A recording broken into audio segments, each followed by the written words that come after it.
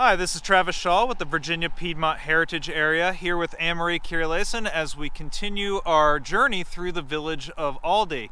Uh, right behind us is one of the more prominent landmarks here in town. Um, it's a home known today as the Berkeley House. Uh, named after one of the more prominent families to live here in Aldie during the 19th century. Um, the Berkeleys achieved their prominence during the American Civil War when four brothers from the same family who all grew up in this home went off to war with the 8th Virginia Infantry in 1861. Um, very shortly after joining the regiment, all four brothers would find themselves as officers in the 8th Virginia, giving the regiment the nickname the Berkeley Regiment.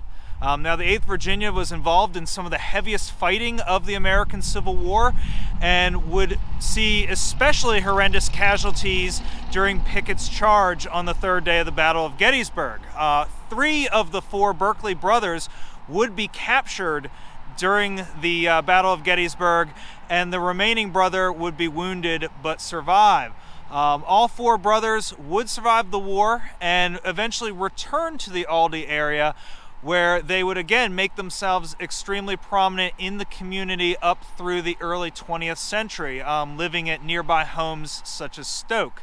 Um, now, the Berkeley brothers and the 8th Virginia are not the only Civil War connection that we have here in Aldie. Uh, Anne-Marie, tell us a little bit more. Yeah, that's right. So um, only a few short weeks before the Battle of Gettysburg on June 17th of 1863, the Civil War came home to Aldie. Uh, now at that time, of course, General Lee is heading up the Shenandoah Valley um, and Jeb Stuart is sent to screen his movements from the United States Cavalry under Pleasonton. Pleasonton is going to send his officers down the turnpike here, um, trying to throw off the Confederate screen to reveal what Lee is up to to discover his movements the Confederates are going to be able to uh, deploy a number of tactics to delay um, delay the progress of the United States troopers, um, and and really Aldie is one of the main thoroughfares at which um, conflict is going to occur. With all of the nooks and crannies, the dips and rises of the roads here, thanks to the hills of the Piedmont, it becomes a perfect cat and mouse game um, as they throw each other off of hillsides and out of ravines and so forth.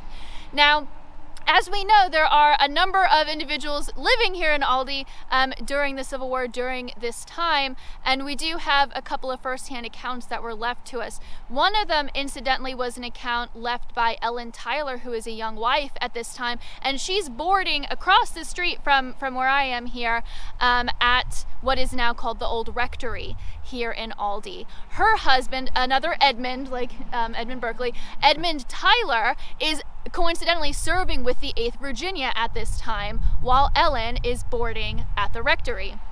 And as Union troopers come through town early on the uh, during the day of the 17th, she witnesses out the second story window a Union soldier and officer stand up in his stirrups and he shouts, "I'll take that damn hill if it takes all my men. Speaking about the rise going up Snickersville Turnpike from here, um, up on the Adam Farm. Now, Ellen's main takeaway from this was not to be scared so much for her hometown um, or scared for her country. As we hear from a descendant in the family, she was most upset at the foul language used by this Yankee.